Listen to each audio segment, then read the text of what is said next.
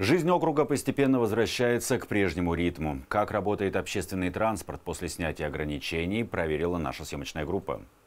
Теперь в автобусе за проезд можно снова платить наличными. Такой способ оплаты удобен большинству пассажиров. На сегодняшний день с 25 июля сняты ограничения по неприему налички. Э, транспорт э, в штатном режиме принимает э, наличные транспортные средства, карту «Стрелка», банковские карты. В части санитарной безопасности изменений нет. Использование средств защиты, социальная дистанция – все еще обязательные меры. Пассажирам доверяют, но соблюдение правил проверяют.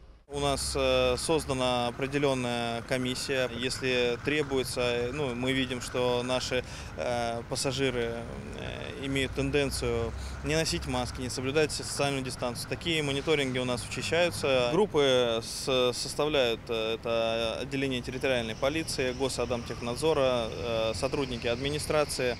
Салоны автобусов водители обрабатывают после каждого маршрутного круга. При необходимости специальные службы проводят более тщательную дезинфекцию. Пассажиры такие меры оценивают позитивно.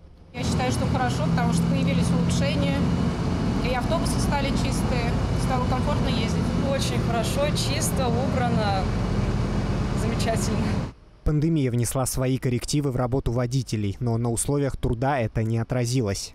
Мострансавто, как организация, всегда отличалась своей стабильностью, э, отношением к водителям, стабильной зарплатой.